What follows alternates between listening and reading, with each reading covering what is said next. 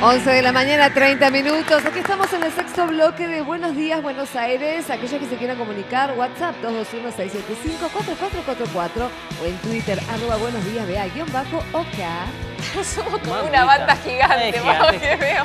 El traje, la pilcha que metió el doctor de Alessandro hoy, señoras y señores. ¿Todo bien, doctor? Todo muy bien, buenos días, Juan. Muy contento, cada vez más gente. Te digo que yo que estoy a la mañana a veces en AM y en, en, eh, con, ¿cómo se llama el de Doman? Eh, nosotros mismos. Somos ¿eh? nosotros. Suerte que tenemos a alguien de espectáculo. Bueno, te digo, ya hay más gente en escena que en cualquiera de esos dos programas. Porque somos una familia con el corazón grande y con la que casa no grande. terminemos, ¿no? Como la gente de La Doman que uno a uno se se fueron. Sí, Ah, acá no ¿no? renunció ninguno todavía. Sí. No, no, bueno, pero ¿quién se le fue? ¿Cormillot? ¿Y Sí, Jelinek? Jelinek. Fue. Raro Cormillot, bueno, de Jelinek yo viví todo el proceso. Yo estaba, le tomé una foto, en- lo puse en, en Twitter, cuando llega Doman, sale de la casa de Jelinek. Afortunadamente, viste que la casa de Jelinek está en conflicto judicial. Un día entras ahí quedas para siempre preso, porque ahí se pelean los A herederos. ella no se la llevan igual. No, a la ella no. Ella no, pero estaba ese día y y vino Doman, yo estaba en una, confitería que hay cerca, en la esquina, frente a TC, muy conocida, y llegó Doman y dice, préstame la computadora que tengo que mandar un tweet, y mandó un tweet diciendo, ya está todo bien con Jelinek, a la semana se fue a la mierda. Se fue. Sí. O sea, pero dijo, estaba todo perfecto, y después lo de, lo de Cormillot me extraña porque cuando se, se hizo el divorcio, yo fui a firmar el divorcio, yo fui a la casa de Doman a firmar el divorcio por Evelyn. Sí. Claro. Eh, Doman estaba enfermito, pobre. y- ¿Cómo se Con la enferma culebrilla, Doman, no? con el cuello. con No, no fue la culebrilla, era gripe. Ah, la gripe. Y nos invitó, estaba el abogado B. Carvalho, el abogado Rial, que es el abogado de Doman, y yo del otro lado. Y Mariana Gallego, éramos, éramos los abogados nada más, Evelyn no fue, porque no soportaba verlo a Doman. En ese momento estaba enfurecida. Y entonces era gracioso porque Doman alquilaba y Evelyn ya como lo había echado de la casa.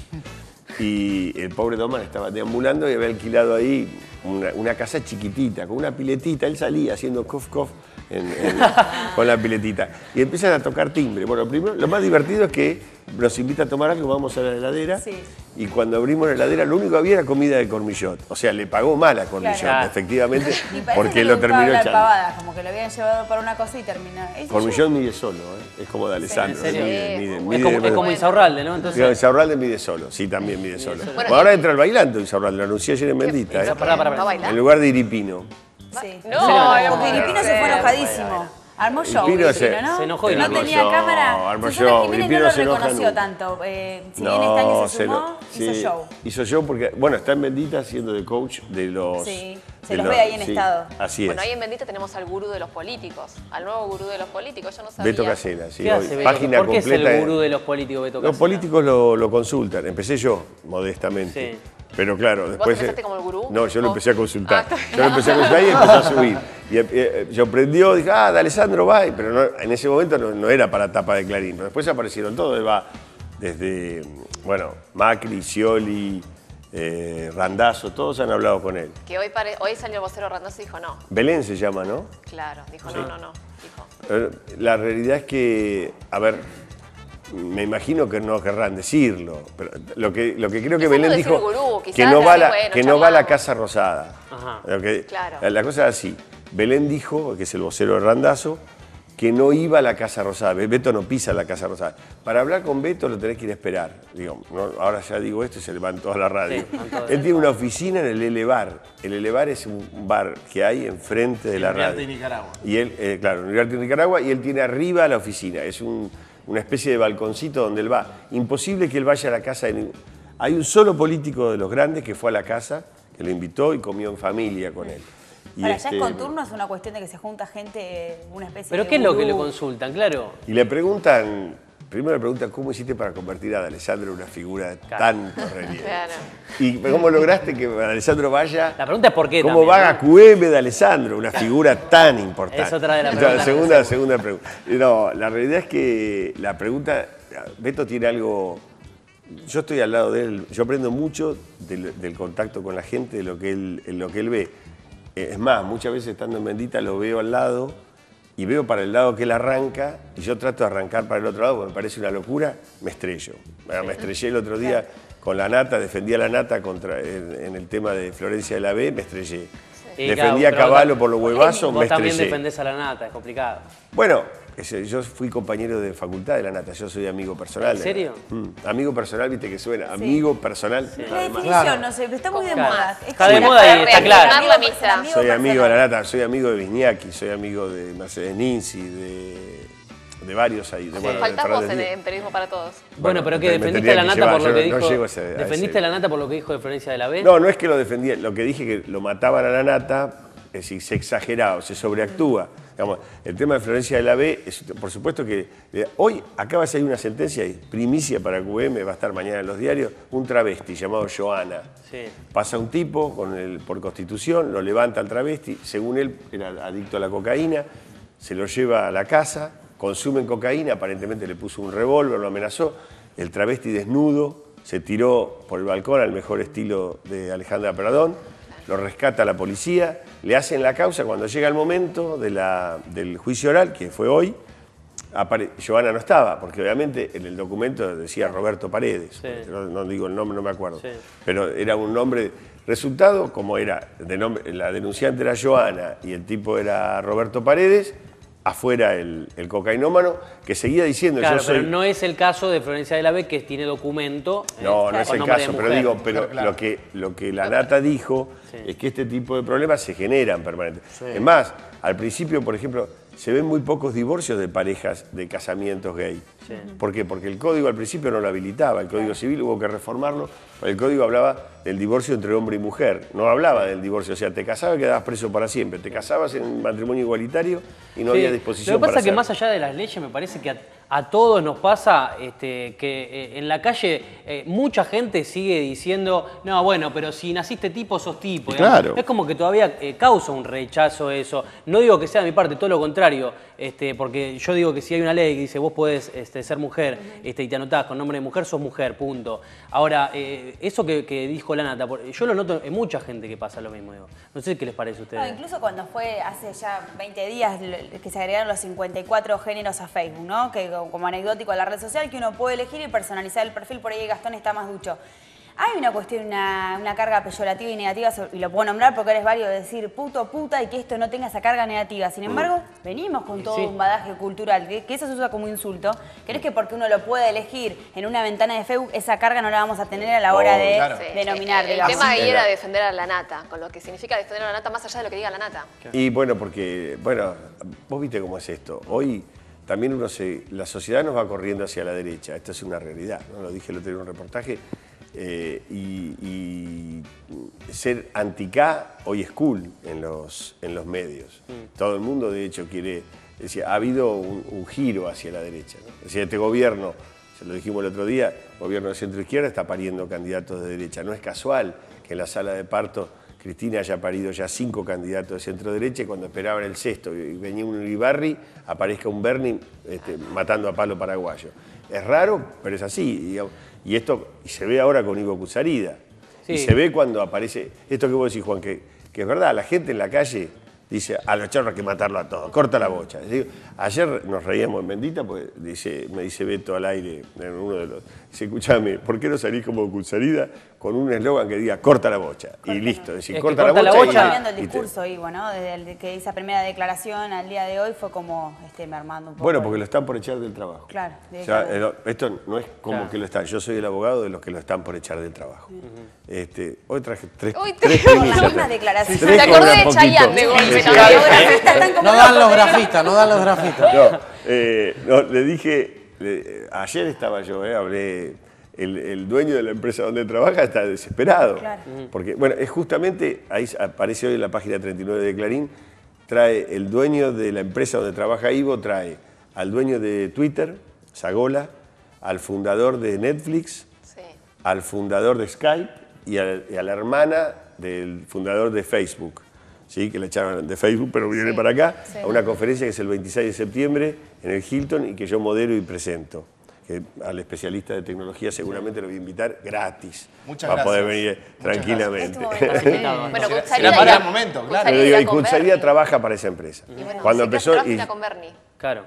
¿Qué sé yo? Cuando no sé. empezaba, no, pero cuando empezó a decir hay que Claro. corta la bocha, corta la bocha, que pega muy bien, ¿eh? Claro, Te digo pero- que corta la bocha, lo veo a Scioli diciendo corta la bocha, Son corta la frases bocha. que han salido de Sí. estratos sociales Un quizá más bajos. callejero. Y después, de, de- de- claro, están en la calle, están en la calle y ya eh, terminan popularizándose, ya, ya no es de un sector. Son, No, cosas que se Piñón, es corta la masifican. bocha, hay que matar, es corta la bocha, no hay otra, otra solución. Sí, eh, pero... Las cumbias, ¿se acuerdan de las cumbias que decían? Es corta la Algo bocha. es cierto, pero ¿por qué, por ejemplo, no garpa esto que vos decías, Mauricio, hace un ratito, este, de que se vuelca a la, ce- a la centro derecha? ¿Por qué no garpa hoy un Echarri diciendo no, este, moderando un poco con ese discurso quizás más kirchnerista? Y sí garpa decir, eh, hay que salir a matarlo a todo. Porque después escuché de nuevo, eh, ayer a la tarde, a Hernán Drago, con el mismo discurso que Ivo Kutsarida, por ejemplo, en este tema Sí. de la inseguridad. Y de los Drago famosos es el modelo contra este. los chorros. Viste, hay que ser lindo para que le peguen los A chorros. todos los que veíamos suavecitos, de golpe Sí. el discurso se enfureció. No, Claro, bueno. bueno, eso digo, ¿por qué se vuelca para ese lado? Bueno, a ver, el- el- lo que no tolera la sociedad, yo creo que lo hablamos ya alguna vez, es corrupción e inseguridad, por ejemplo. Si la sociedad interpreta que el tipo no es corrupto, le perdona la inseguridad. Si la sociedad, y en esto pasa mucho con los artistas. Muchos de los artistas que defienden el modelo han comido del modelo. Muchos de los artistas que hablan en- a favor del modelo han tenido programas en Canal 7 o en ATC, ya no sé cómo decirlo. Sí, o digo- películas financiadas. o las películas financiadas, eso es una gran mentira, ¿eh? porque Sí. todo el mundo recibe películas Claro, financiadas. Si el, el- el INCAI eh, le, le- le da más o menos. El Inca. ¿no? El Inca le da hoy, creo que 4 o 5 millones de pesos a cualquiera que quiera iniciar una película. Es decir, esto, y, y no han sido, es cierto que la posibilidad del. Y no ha sido el gobierno en esto eh, no ha beneficiado a uno sobre otro. Es cierto también que es gramsciano y empezó con Alfonsín, el que maneja la cultura, se cree, maneja la política. Por eso es que, digamos, lo que hizo Menem con Moria Kazán y los expertos de pinchazo, lo hizo este gobierno con algunos, pero no salió bien, que yo lo de Gastón Paul no salió bien. Ahora, O sea, wow. Mauricio, vos que por ahí analizás mucho la gestualidad por tu trabajo, digamos, quién dice la verdad y quién no. Lo de Ivo en Intratables, ¿no parecía guionado? Estaba convencido de lo que decía. Lo no dejaron hablar cámara. 15 minutos, convengamos No, 15 esto. minutos en, en el solo, programa que más se interrumpen Sí. de la historia de la televisión, dejaron hablar 15 minutos de Ivo Kutsarida. Digo, en un momento era bastante repetitivo, digamos, Sí, eh, pero, reiterativo. pero mi- mira, hoy con el minuto a minuto, Sí. eh, Claro. vos vas y si mide, aunque diga la pavada más grande, quedás. Sí. Le pasó a Delia también con el Sabeca de Banfield. ¿Cuánto, Sí. cuánto estuvo hablando sin que nadie lo interrumpa? Esa vez así. Es decir, y, y a- y además intratables, la política se ha intratabilizado. O sea, el programa intratable sigue midiendo cinco como siempre, pero lo miran, la tapa, digamos, la página de la que hablaba recién Agustina de, de Beto Casela, diciendo el gurú de los políticos, en página impar, no sé, será la 11, será, Este, es página impar de... estaba por ahí. Sí, pero es una página impar. Cuando hablo con hoy a la mañana, yo estuve cuando se hizo la nota, siempre estuve. Yo soy como un fantasmita. Sí. Este, estuve cuando se gestó la nota. Y yo pensé que iba a espectáculos la nota. Cuando fue ahí, No, empezó claro. a llamar un montón de gente. ¿Cómo Casela se mete con la política? Porque hasta ahora la política se metía con la farándula. Claro. ¿Sabes? Nos mandaban un Insaurralde y Insaurralde se ponía a bailar en lo de, Sí. en lo de Tinelli. Ahora, la política, en mi caso, se mete con la farándula. Nada más con met- consejos muy, muy la- firmes. Decían que a quién era, a Randazzo creo que le decía, te conviene alejarte un poquito del discurso ultra acá, o sea, como, dieron que como un decía- lo que decía Beto ahí. decía Beto, de y que ¿no? tenía libros de Perón que le entregaba a cada uno, o sea, todos el Le- mismo libro de conducción política, él regala conducción política. También lo, que lo- pero- lo que pasa hoy con Beto Casela es un tipo que está eh, casi 6, 7 horas al aire, está en Radio 10 a la mañana, Siete está horas. eh, Claro. en Pop a la, en la segunda mañana, y el tipo vive escuchando a la gente, y a Beto lo llaman gente de, de- de- de todas las, eh, de todos los partidos políticos, o sea, y de todos los pensamientos políticos. Y Beto es un tipo que escucha.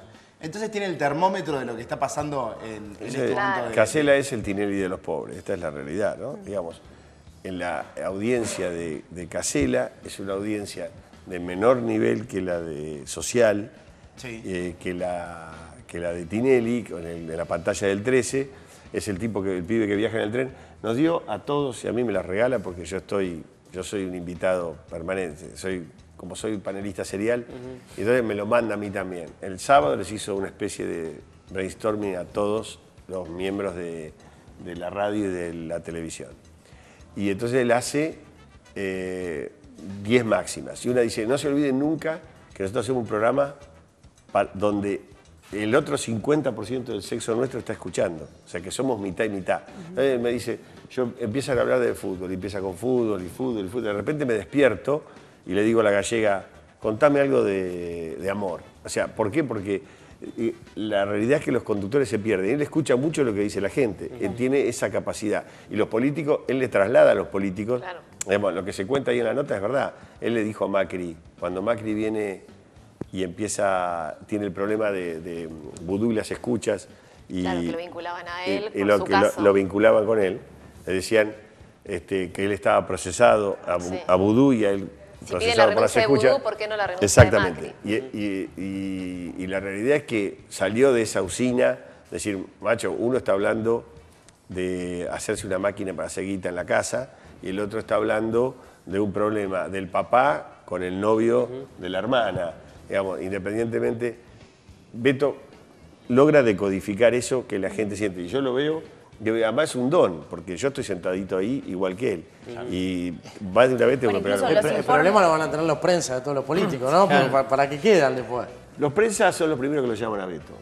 Ah, no, dijo, viste, parezco, parezco Maglietti ayer peleándose con Franchini. Eh, si yo hablara, sí.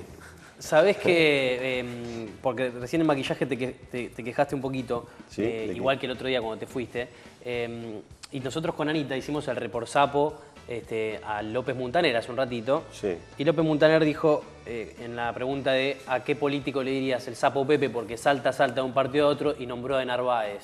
Y vos decís, "Eh, acá siempre le pegan a De No, Narváez. acá, acá está claro. lo- al tipo no este lo lo trajeron. eh, Montaner. No, no, Acá no, no. lo quieren, no ven Narváez. Acá lo traen para que hable mal de Narváez. No, nosotros Y trajimos- baja desde Albino esto. esto es una- en serio lo digo. Acá es- Bueno, pero eh, vo- vos, si todavía te considerás dentro del denarvaísmo, porque por ahí Sí, te vas a claro, y enfrentar como a dice, Renovador. me- Dijo que, era de los pocos que todavía le respondía de Sí. Claro. sí. Pero, pero a ver si le siguen pegando acá. ¿Y por qué ahora? ¿Por qué le pegó el Porque No, porque dice que salta lado al otro. salta, salta de un partido a otro. eh, la ¿Y habló del sapo Pepe también? Claro.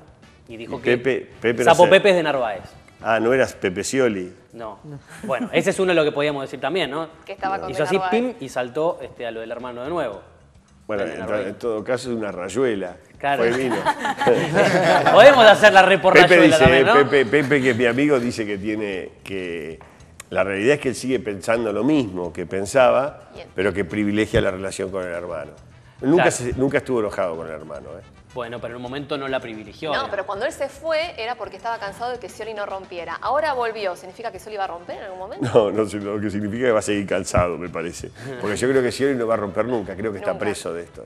Está preso, es decir, los que creen en Scioli como candidato a presidente, como, como Montaner, tiene que ser, tiene que tener claro que Scioli va a llevar este, este modelo, este modelo sciolista de conducirse hasta sus últimas consecuencias. Y se va a devor- él sueña con devorarse el kirchnerismo. O sea, lo que, lo que él piensa es algún día el kirchnerismo se va a pagar solo. Sí. Scioli sueña con devorar al, al Sueña kirchnerismo. con que el kirchnerismo se va a pagar solo y que su figura... sí, ¿Cuál es la verdadera lucha? ¿Y por qué Cristina no termina de cerrar? Acá hay este, la teoría de los cuatro cuartos, ¿no? Un cuarto con Macri, un cuarto con Massa, un cuarto con Scioli y un cuarto que quedan de K, vivos, dando vuelta, como, como los Simonki, que están por nacer, pero uno no sabe. ¿Te acuerdas de Simonki? ¿Vos tenías Simonki? No, no tenía. Pero sí, No tuviste día demasiado joven. con los amigos, ¿qué tenía el polvito ese? ¿Cómo, cómo El era? Simonki te, te crecía, yo tenía un Simonki de este tamaño, o sea, era una cosa de loco. Me daba miedo, lo veía en la pecera y me daba miedo. Claro, No sé cómo Pero, pero Simonki. tenía vida. Metamorfosis. Pero absolutamente, se O la sea de que comer. alguno crece, alguno va a crecer. Ni hablar, bueno, lo que pasa es que, eso- lo, que no, que lo que no cree es la naturaleza. Es como el otro día discutíamos con Beto, ¿no? Perdón que nos vayamos, pero... el programa- no importa, no pasa Pero eh, discutíamos, los monos hablan. Los monos hablan. Los chimpancés tienen 99,4 genes iguales que el hombre. Lo que pasa es que los monos se hacen los boludos en la selva. Cuando ven, un- porque si el hombre sabe que habla, lo esclavizan. Entonces los monos llegan que nosotros, cuidado que viene un hombre. Y los tipos hablan. Y después hacen como, "Uh", pero los tipos hablan, entre ellos hablan. Eh, hablan perfecto. Eh, en, Bueno, en esto con el parece- nos fuimos un poco. Vos- Sí, a vos te toca de- ese que tiene que volver No, a la además, cucaracha. claro. ¿quién se hace el boludo, según dice en, Claro. en la política Hay alguien que se hace el dolobu. Y bueno, eso es lo que decía Felipe Solá, ¿no? Felipe, a Felipe Solá le preguntaban, ¿cómo llegaste hasta acá? Y él decía, porque me hice el boludo. Decía, este, haciéndome el boludo. Como los monos, Bueno, digamos. eh, y en este capítulo o en esta novela, en esta novela, ¿en qué capítulo estamos de Insaurralde se pasa o no se pasa, de Alessandro vicegobernador o no? Yo, ya lo dije, si, si yo quiero ser gobernador, Insaurralde quiere que sea su vice, eh, o por lo menos no dice que no. Pero vos querés ser Y- gobernador y de Narváez también. Sí, de Narváez también estaríamos. Una interna. Yo interna de Yo le decía, pobre de Narváez, lo último que le falta en la vida es una interna conmigo, se suicida directamente. No, no, si, si él, si me tocara una interna con de Narváez, no iría. Porque además sería una deslealtad con él, que fue el que me trajo a la Yo me iría haciendo el, el tatú. El tatuaje Eh, que empezó, se ve acá por la empezó camisa. mucho antes, ¿no? Empezó mucho antes. Sí, no, yo no- nunca me van a ver con un tatuaje ni. Bueno, Insaurralde hoy vota a favor de, de- Sí, del pago de la deuda lo que falta es el tema de abastecimiento. Ahí Sí, habrá que ver y, qué pero hace. dicen que también iría por ese lado. Bueno, lo del abastecimiento, yo se lo pregunté, ¿eh? Sí. Me dijo lo del abastecimiento se va a saber Ni. en el momento. Ah, en el momento. así. Eh, eh, eh, perdón, Insaurralde. Insaurralde tiene esta idea de que él está dentro del Frente para la Victoria. La realidad es que todo el mundo lo quiere empujar. Además, muchos a Scioli le aconsejan empujarlo a, a Insaurralde, ¿no? Y incluso aparece en unas encuestas del otro día que... A Bernie primero. A Bernie que lo empuja, no. No, No, No. digo que parecía que hace un tiempo ya el ciolismo está mirando para otro lado. Ya lo tienen Insaurralde afuera y de golpe Ah, apareció que Bernie mira- primero en las Sí, encuestas. pero viste, pero Bernie también es cierto. A ver, nadie puede comparar la experiencia política de un tipo que gobernó durante dos periodos el- la intendencia de Loma de Zamora, que tiene muchísima experiencia, con la de Bernie, que sale, los pone a todo contento y dice que hay que rajar los paraguayos a patada y al otro día tira un carancho arriba de un auto y de encima lo defiende. ¿no? Claro. Decir, la, la realidad es que lo de Bernie se, todavía está, está, Está germinando, está verde Bernie, porque, digamos, va a cometer muchos errores cuando le pongan un micrófono. De Eh, hecho, no los comete ¿Sabés Insaurralde qué? Nos quedan eh, poquitos minutitos, pero hay una cuestión este, que está clara. Eh, vos todo el tiempo traes a Beto Casela a nuestro sillón, ¿no? Como si fuera perfecto Beto Casela. Primero vas a, a responder a ver si es perfecto Beto Casela. Dicen Y- que ya lo y- pidió a la Y no, y la segunda pregunta es si la próxima vez que esté en Bendita TV va a hablar todo el día Buenos Días Buenos Aires, ¿no? Bueno, hoy, hoy puedo hacer una referencia importante. Estaría bueno. ¿eh? Pero de todas, de todas maneras, para eso habría que hacer un pequeño esfuerzo. Vos tendrías que hablar más de Beto Casela. Claro. Y Beto si no manda. y Beto Casela, por ejemplo, podría darte una tunda como la de Ventura. O sea, tendrías que. A- Claro, no, pelearte no te vas a pelear, pero digo. Bueno, yo puedo decir que mis chalecos, por ejemplo, están mucho mejores de lo que se pone Beto Casela y que me parece una payasada los anteojos transparentes que usa. A la pelota. ¿Y qué Esto pasa sí que es jodido, es a mí me inlevantable. encanta cómo se viste Beto Casella? Bueno, Bien. y no salimos hoy a la noche del programa. Pará, es más, No, porque tu propia conductora te estaría boicoteando. Claro, ahí está, mira, esos son mis Pero anteojos. lo único- Y, y los de Beto Casela son transparentes. Para saber, digamos, acá Beto Casela es importante, bendita, pero lo importante es conocer la opinión de ustedes de Teto Medina. Tito Medina una vez me lo Porque encontré. Teto Medina es, ojo, que hace todos los actos de Scioli y los presenta Teto Medina. ¿Es cierto que Teto. Medina era camarógrafo cuando era más pibe? Cuando empezó en Videomatch. Antes de mi chica de humo. No. Uh, vos. Cantaba. Teto, Eh, Teto Medina Teto nació cheto, era rugby a los dos años, ya te dieron Ah, ya con una balada. No conoció nunca la pelota redonda. Nunca. Jamás. Usó bigotes, intentó cantar. Y ese hombre, sí, sí. Nunca No. ¿Qué? no intentó cantar. Con- encontrándose con el No, Si, vos, sos panelista serial, acá tenemos Beto Casela, escucha. Mi Ah, chica de humo, Teto y Medina. no. Al Teto Medina. Al Teto Ah, Medina. Sí. Esto fue un Yo éxito. igual lo banco al Teto, porque Si vos ha logrado resignificarse. Un tipo que logra permanecer después de haber hecho este hit. Y Dicen que rodeos, ridículo y no se tiene vuelve, un panel, yo lo banco. Volvió. Eh, No me voy a pelear con Vos si sos panelista serial, Teto Medina, ¿qué sería más o menos? No, Teto Medina es el padre de los panelistas. El padre de los Y panelistas. bueno, tiene su propio programa, ¿no? También. Tiene, claro, además eh, conduce un programa, es cierto. Pero es el Este, padre de todos los panelistas. Bien. Eh, ¿Hay alguien más panelista que Beto Casela? Pensemos No, rápidamente. Beto No, que Teto no. Medina. Que El me- Teto ¿sabes Medina. que se me, se me ¿Por mezcla? qué le decís Sí. al Teto Medina. Edith Hermida? Edith Hermida. Me gustaría, Hermida. yendo un poco a lo que a lo que le había dicho Pardín. Juan, ¿en algún Pardín. momento A nos vas a Pardín es ayudar un gran- a recrear un escándalo? ¿Cómo hacemos un escándalo para ¿Cómo aparecer en todos los medios? ¿Algún día podrías tirarnos unos tips de cómo generar un escándalo? Yo tengo alguna idea, ¿eh? Yo No, tengo alguna seguro, unas idea. Y cuantas. además, lo, lo que pasa es que esta, esta escenografía es demasiado buena. Sí, Sí. como para. y, como para romperla. Porque tenemos Tendríamos que que- hacer algo. No, pará, es demasiado nueva. Lo peor de ¿no? todo es que no Eh, se repone no, no, después, así que no. A fin de año vemos si podemos, aunque sea, romper este, este banquito. algo. Yo tengo una cámara oculta de Albino. Epa, bueno, eso, eso bueno, ojo con eso. Una cámara oculta de Albino.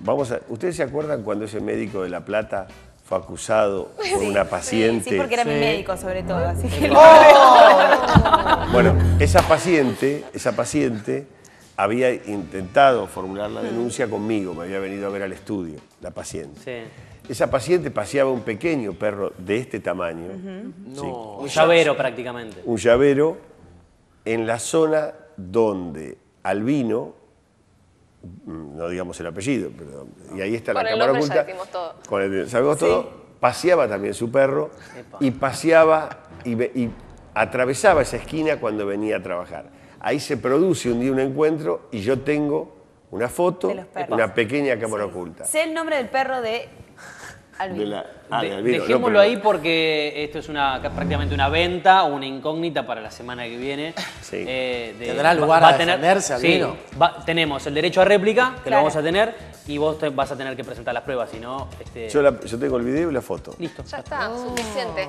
Bueno, Eh, lo dejamos acá, Anita. vamos, llegamos final. un- llegamos al final. Bueno, de Chayanne hablamos mañana. Sí, yo ganas de hablar, provócame, tenía un montón de datos acá para... Acá teníamos datos de Me Chayanne. Yo lo tuve denunciado a Chayanne. Uy, Fue bueno, lo que bueno, tuve denunciado, Queda, era- to- queda todo para el miércoles que viene, entonces. Este, gracias, No, doctor, por eh. favor, a ustedes. eh, Como Chicos, siempre, un gusto estar acá. Chau. Nos vamos, ya está. Final. Chau. Nos vamos, chau. Nos vemos, nos encontramos mañana a partir de las 9 de la mañana. Buenos días, Buenos Aires.